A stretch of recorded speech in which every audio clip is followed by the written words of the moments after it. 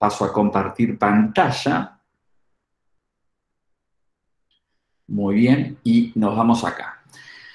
De, ya hicimos una especie de valoración de lo que es la perfusión gaseosa, ¿sí? tanto por saturación, por semiología, es lo que se deja ver, ¿sí? como vimos el relleno capilar, la gasometría arterial recién, ¿sí?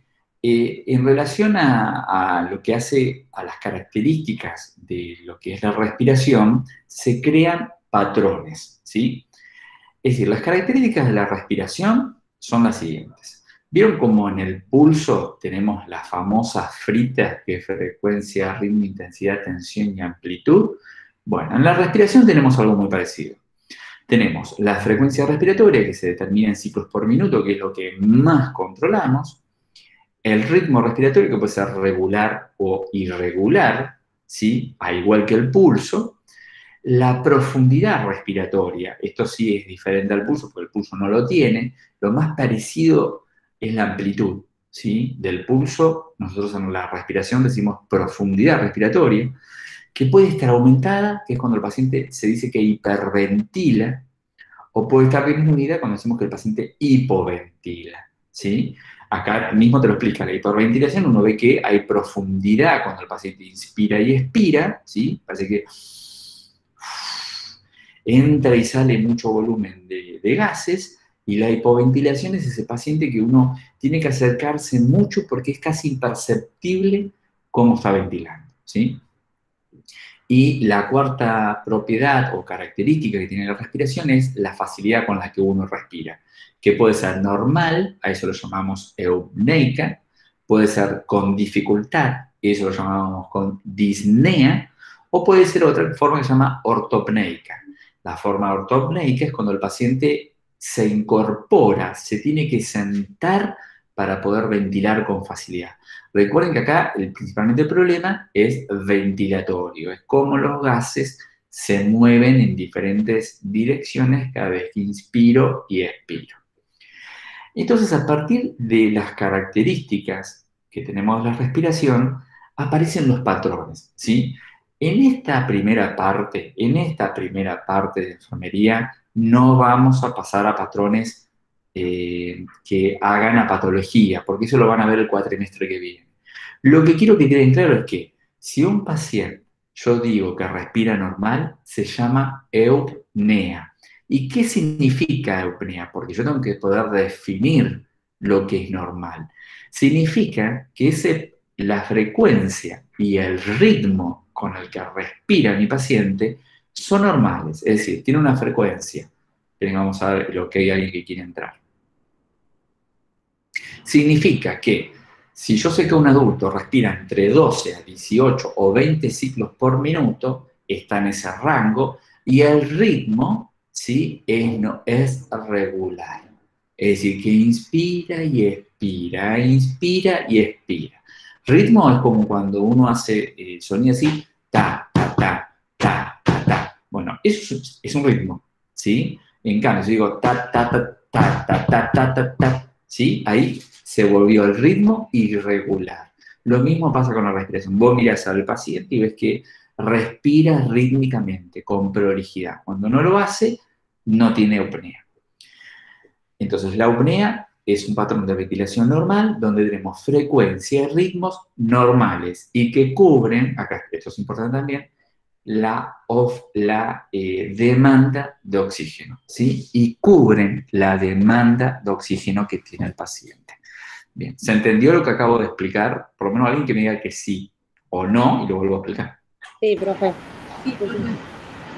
Sí, profe. Buenísimo. Después, algo que sí recordamos, si el, la frecuencia va en aumento por encima de lo que consideramos normal, se llama taquipnea. Si está por debajo de esos 12 ciclos por minuto, bradipnea. ¿sí? La apnea ¿sí? es un patrón donde se ve ausencia de ciclo respiratorio que generalmente dura entre 10 a 15 segundos. ¿sí? Entonces, cuando yo digo que, y generalmente la apnea no es un patrón que se mantiene en el tiempo, porque haces una parada respiratoria. La apnea son eventos que se dan en, algunos patrones respiratorios, ¿sí? Si yo digo, mi paciente hace, periódicamente hace apneas, estoy diciendo que en su respiración, la mayoría de las veces normal, tiene episodios donde cesa la ventilación espontánea y luego la reanuda, ¿sí? Recuerden, yo sé que cuesta un poco, pero estas son las palabras con las que, cual tenemos que empezar a hablar y escribir. La apnea es un episodio donde cesa la ventilación espontánea por 10 a 15 segundos y luego vuelve espontáneamente a respirar con cierta normalidad. Generalmente las apneas son acompañadas por qué evento que cambia de coloración al paciente pregunto, que eso realmente en la infancia asusta mucho. En todo, la cianosis. Perfecto, el paciente tiene un episodio de cianosis que acompaña la apnea, porque hay un cese de respiración. Y también a nivel cardiovascular, ¿sí? pueden darse dos eventos. En los niños, por ejemplo, puede darse taquicardia, ¿sí? Y en los adultos, bradicardia, ¿sí? Cuando el paciente hace apneas, bradicardiza. El adulto tiende más a bradicardizar. Y el niño, en una primera respuesta, taquicardiza y luego bradicardiza. ¿Sí? Muy bien. Eso, eh, esos son eh, los patrones que quiero que nos quede en claros. Eupnea, taquipnea, bradipnea, apnea, disnea, ya lo habíamos definido como una alteración en el patrón de ventilación, donde una o más de las características de la respiración se altera, se puede alterar la frecuencia, el ritmo o la profundidad, una o todas, y no logra cubrir la demanda de oxígeno. ¿sí? La apnea, la taquipnea, la bradipnea te cubren la necesidad de oxígeno. Tarde o temprano te cubren la necesidad de oxígeno que tiene el cuerpo, pero la apnea no lo hace, la disnea no lo hace. Y la ortopnea, recuerden que es un cuadro donde el paciente se ve imperiosamente necesitado de sentarse para aumentar su capacidad ventilatoria. Es el clásico paciente que van a ver con insuficiencia cardíaca congestiva o, un EPOC reagudizado, ¿sí? Que están todo el tiempo queriendo estar sentados porque es la única manera en que respiran con comodidad. Muy bien. De los ruidos, sí, esto después eh, véanlo con mayor tranquilidad. Lo que sí quiero que nos quedemos bien en claro, que es lo que no, puede, no nos podemos olvidar, es el ruido normal de la respiración, es ese ruido de que el aire ingresa y egresa, que se escucharía, lo voy a imitar así.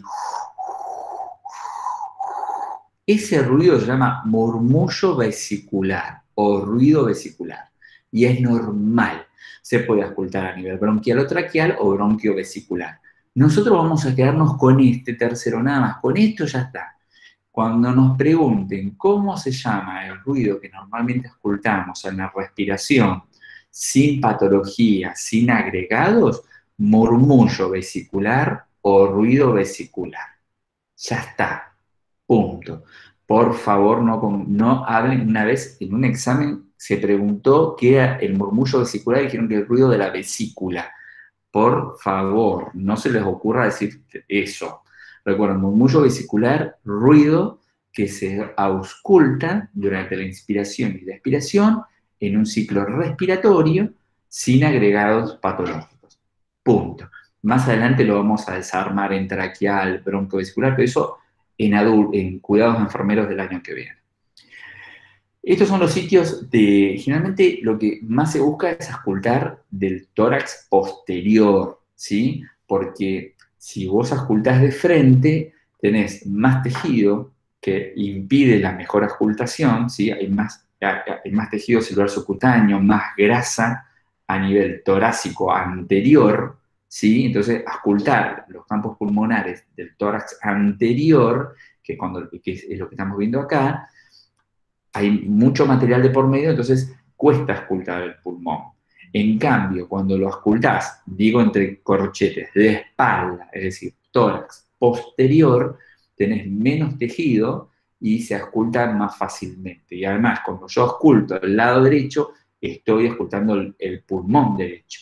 En cambio, cuando lo haces en el tórax anterior, cuando yo ausculto el, pulmón eh, izquierdo, es mi derecha, ¿sí? Entonces puede entrar en confusión. En cambio, siempre el tórax posterior, si yo oculto el tórax, el hemitórax derecho posterior, es el pulmón derecho, ¿sí? Y lo mismo le pasa al izquierdo. Y estos son los puntos, ¿sí? Que más se ocultan. El ápice, ápice es punta del pulmón, ¿sí? Las puntas del pulmón se llaman ápices. Luego, fíjate que a nivel interescapular, es decir, acá están las escápulas, ¿sí? A nivel de inter, entre y a mitad de las escápulas, ¿ves? Donde terminan las axilas, si vos haces una línea, tenés los lóbulos superiores, por debajo los inferiores y las bases pulmonares bien subescapular. Bien sub, sub es por debajo de las escápulas. Bien, acá hay un video que te, explica cómo hacer esta técnica de ocultación, los invito a ver en otro momento. Para ir terminando, porque les conté que ahora a 14.30 tengo una reunión con rectoría, ¿sí? así que esto es como la televisión, los tiempos son muy tiranos y tengo mucho para vender, pero bueno, hoy lo que tengo es esto. De los ruidos agregados que queremos recordar, recuérdense que los ruidos normales, ruido eh, vesicular o murmullo vesicular. En cambio, cuando son adventicios, patológicos, agregados, todas esas formas son sinónimos. Si yo te digo nombre ruidos agregados a la respiración, son patológicos. Nombre ruidos adventicios son patológicos. Vamos a recordar, después eh, acá que eh, tienen ruidos de todos los colores, de los que queremos que, ustedes recuerden. Tenemos el, estridor laringio, ¿sí? que es propio de la vía superior. ¿Se acuerdan cuando vimos que era superior e inferior? Fíjate vos cómo todo se va juntando. ¿eh? Entonces, el estridor laringio, mira que el parcial que ustedes van a tener, hay preguntas que yo te pongo un ruido y digo, ¿qué ruido usted identificó? ¿Sí? Y yo te doy un choice, te digo, ¿es un estridor, es una sibilancia o es un ronco? Y si era un estridor y vos pusiste otra cosa, va mal. ¿Sí? Así que familiarícense con estos ruidos. ¿Qué son? Estos son los ruidos que vamos a evaluar en esta primer parcial. El estridor laringio, que es un ruido de la vía aérea alta, propia del colapso de la laringe. Esto se da mucho, por ejemplo, en pacientes que han estado intubados mucho tiempo y uno los extuba, ¿sí? y la laringe está muy irritada y colapsa eh, durante la respiración, principalmente expiratorio, y eh, también en pacientes que han, eh, extuban accidentalmente. Se sacan el tubo endotraqueal que tenía un balón, se lo sacan accidentalmente, lastima la laringe y queda el estridor.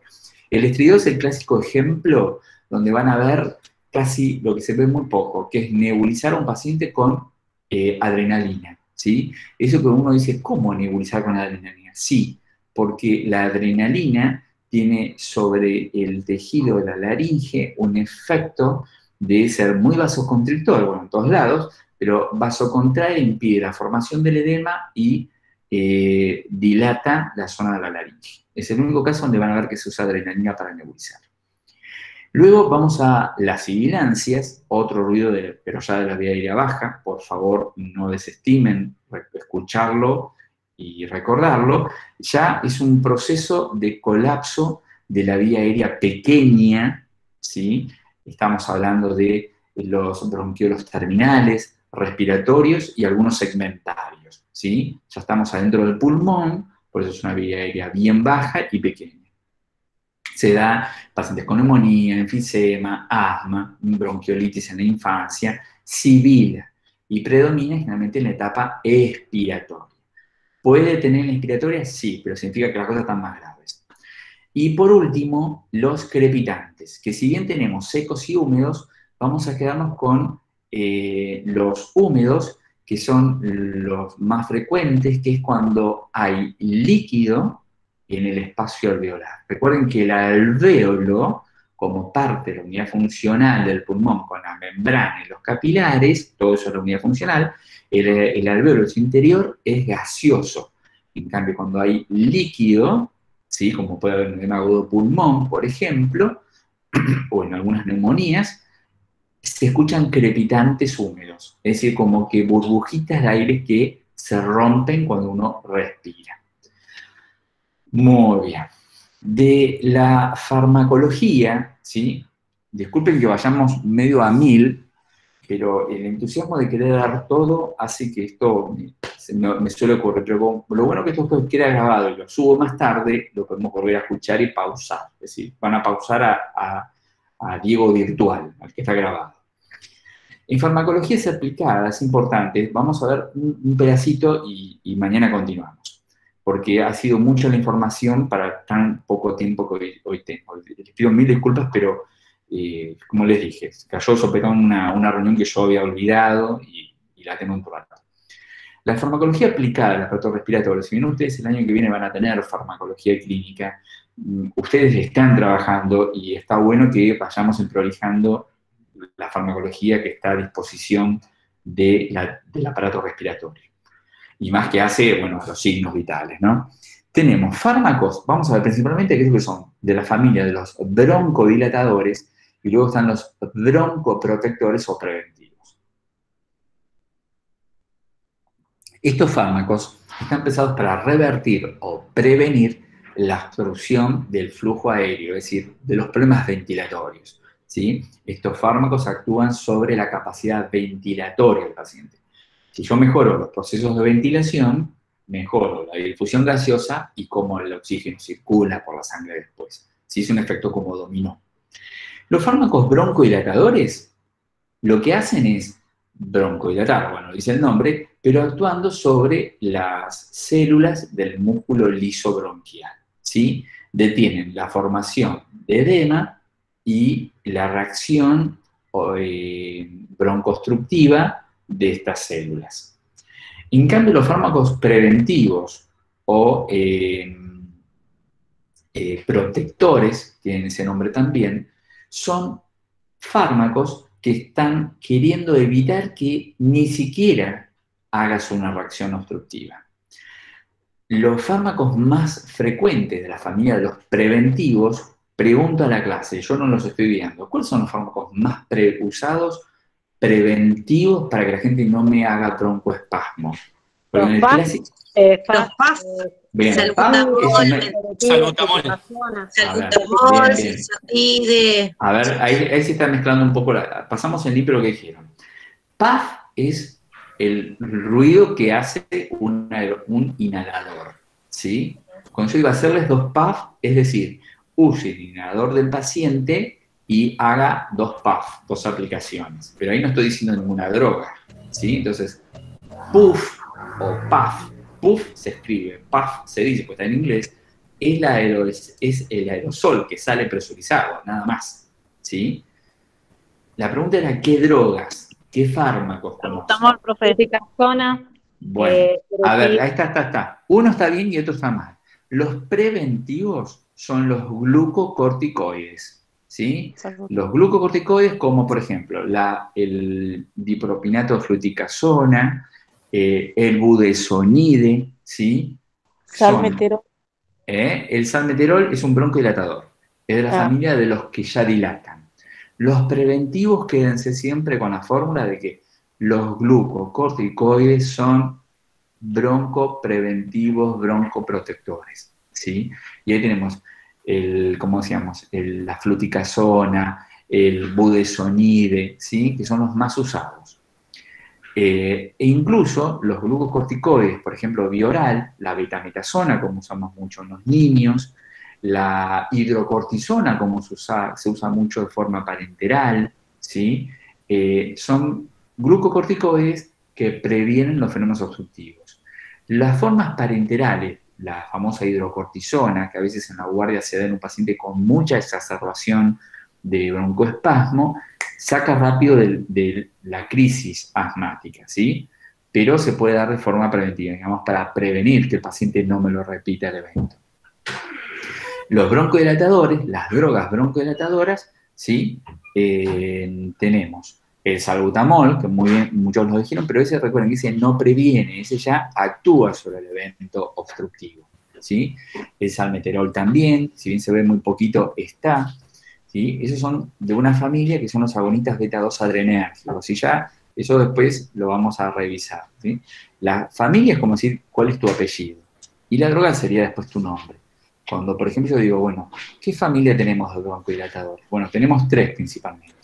Los agonistas beta-2 adrenérgicos, luego tenemos las metilcantinas, que ya se usan muy poquito, pero en el cuidado de adultos por ahora circulan, y luego tenemos los eh, anticolinérgicos. ¿sí? Esas son como la familia, son de dónde venís. ¿sí? Por ejemplo, si digo salbutamol, es la droga, pertenece a la familia de los agonistas beta-2 adrenérgicos. Si digo salmeterol, estoy hablando de la misma familia. Si digo, por ejemplo, bromuro de hipratropio, ¿sí? Bromuro de hipratropio, estoy hablando de la familia de los anticolinérgicos, que a su vez son broncodilatadores. Y las metilcantinas, una droga muy conocida es la famosa teofilina, que se tomaba bioral, y en muchos carros de emergencia quedan ampollas de aminofilina, que es su análogo, pero su versión parenteral endovenosa. Esas, las metilcantinas como familia, eran muy buenos broncodilatadores, pero tenían muchos efectos extrapulmonares. Es decir, el paciente resolvía sus fenómenos obstructivos, pero tenía muchos efectos principalmente sobre la actividad cardíaca. ¿sí? El paciente taquicardizaba muchísimo, mucho más de lo que lo puede hacer el salbutamol, y también aparecían alteraciones en la conducción eléctrica, decir, aparecían arritmias. Muy bien. ¿Se entendió hasta acá más o menos lo que vimos? Sí, profe. Sí, profe. Después vean acá cómo usar adecuadamente el aerosol, porque parece que uno dice, bueno, hacer un puff. Ahí es toda una técnica chiquitita, pero hay que saberla porque a veces el paciente se tiene que ir a casa, se tiene que ir con un tratamiento ambulatorio y hay que explicarle, ¿sí? Cómo hacer adecuadamente la técnica de eh, aerosolización presurizada. Así después véanlo para no quitarles tiempo. Termino, termino con nebulización que creo que nadie no ha perdido la oportunidad de nebulizar a un paciente. ¿sí?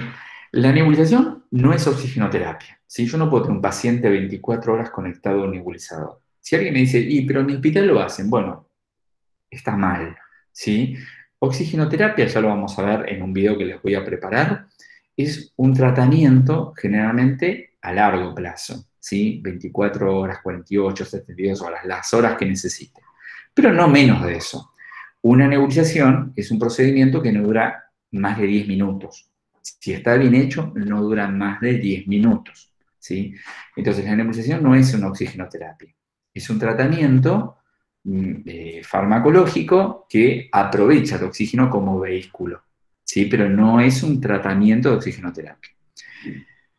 Lo que se usa es que el oxígeno entre a alta presión para crear una nube con el medicamento más un vehículo que es la solución salina normal. Y con esto ya terminamos. ¿Por qué vamos a usar oxígeno y no aire comprimido? ¿sí? Porque hay lugares donde dicen, no, usa aire comprimido, y en otros no, usa oxígeno. ¿Por qué tenemos que usar oxígeno preferentemente? Primero porque el oxígeno solito ya es broncodilatador, ¿sí? Ya es como una droga broncodilatadora. Entonces, si estoy nebulizando a alguien porque tiene broncoespasmo, qué mejor que usar un gas que corrige ese broncoespasmo, además de las gotitas que yo use de broncodilatador. Y segundo, porque la mayoría de los pacientes que sufren alguna forma obstructiva tienen hipoxemia, es decir, tienen un caudal de presión de oxígeno en la sangre bajito o están saturando por debajo de lo normal, es decir, están insaturando. Entonces, si yo nebulizo con oxígeno, es como se dice en la jerga, mato dos pájaros de un tiro. Corrijo broncodilatando y corrijo la hipoxemia. ¿Se entendió por qué oxígeno sí y no aire comprimido? Miren que esto es pregunta parcial. El parcial ya les cuento que ya lo hice. El fin de semana me hice 50 preguntas, ya está preparado. Y ya está, ustedes no lo pueden ver, pero ya está en la plataforma, a la espera de ser usado. Se habilita el 29, a las 16 horas se abre y a las 18 se cerró. ¿Sí? Por favor, tengan en cuenta eso ese día. Se tienen que pensar que pueden pedirse el día en el trabajo que nosotros les extendemos un, certificado ¿sí? para presentar. para pedirlo por día por estudio. Es un derecho de todos, ¿eh? así que pueden aprovecharlo. Lo que nos tienen que pedir eh, el mismo día que lo rinden, después que lo rinden, nos piden certificado y se lo damos. Cada Profe, uno Sí, dígame. ¿Qué pasa si en algún caso tenemos problemas de conexión? Bueno, ahí lamentablemente es un problema que ya está ajeno a nosotros. ¿sí? El examen se abre a las 16 y se cierra a las 18. Si alguien va por la pregunta 30 y se le hizo a las 18, se cierra el examen, es como si el docente te sacara la hoja porque se va. ¿sí? Se califica hasta, hasta el total de preguntas que usted hizo. Se corta la conexión, es como que te retiras del aula. Entonces tu examen, si vos hiciste 10 preguntas, quedan 10 preguntas. Eso es un problema. Entonces asegúrense tener buena conexión para ese día. ¿sí? Yo sé que es difícil, pero bueno, en la virtualidad eh, también hay que poder lidiar con estos problemas. ¿sí? Nosotros, eh, como eh, buscamos la máxima seriedad del programa, no lo podemos hacer de otra manera. ¿sí? No podemos decir, bueno, después vuelva a entrar. No, porque el examen, una vez que se abre, se cierra o por hora, porque se cumplió el requisito del horario, o porque el alumno lo cierra desconectándose. ¿Sí? Entonces no puede volver a... Sí. Sí, dígame. No, no, no, perdón, termine. Eh, una consulta. Eh, supongamos que por cuestiones ajenas, obviamente, a nuestro trabajo o algo, eh, no podemos hacer el examen. ¿Hay recuperatorio? ¿Hay otra fecha para poder sí, hacerlo? Totalmente. Sí, sí, sí. En el mes de noviembre es más, creo que está pautada ya la fecha, las dos últimas semanas del mes de noviembre se va a tomar la penúltima semana el recuperatorio del primer parcial y la, última semana el recuperatorio del segundo parcial. El que no lo haga el parcial, el que lo haga y le vaya mal, o el que lo empezó a hacer y se le cortó, inmediatamente pasa al recuperatorio. Pero es a final de noviembre para que todos continuamos, tengamos la oportunidad de, o de estudiar más o de tener una mejor conexión en noviembre y asegurarnos que cuando llegue ese día estén dadas todas las condiciones. ¿sí? Así que no me presento, voy al recuperatorio. Me presento, se me corta, voy al recuperatorio. Me presento, lo hice horripilante al examen, voy al recuperatorio. ¿Sí? Pero va a ser en noviembre. Seguimos todos cursando. Genial. Gracias, profe. No, nada. Entonces, Decíamos, ¿por qué oxígeno y por qué no otra cosa? El aire comprimido no corrige la hipoxemia ni tampoco es broncohilatador.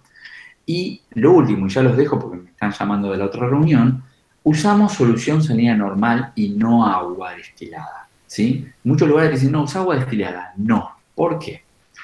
La solución salina normal tiene cloruro de sodio. ¿sí?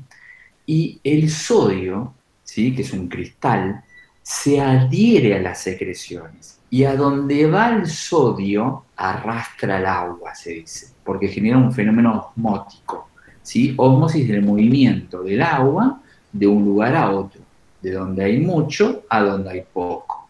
Entonces vuelvo a repetir. ¿Por qué usamos solución salina normal y no agua destilada para nebulizar? Porque cuando yo me nebulizo con agua, las secreciones no les pasa nada.